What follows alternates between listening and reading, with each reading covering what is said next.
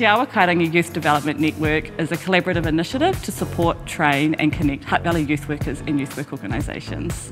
We provide quality network and collaboration events for the youth work community and strive to be a collective voice on youth issues. We believe that networking, support and professional development is key for our youth workers. Ultimately, this means better resource organisations and more positive outcomes for our rangatahi.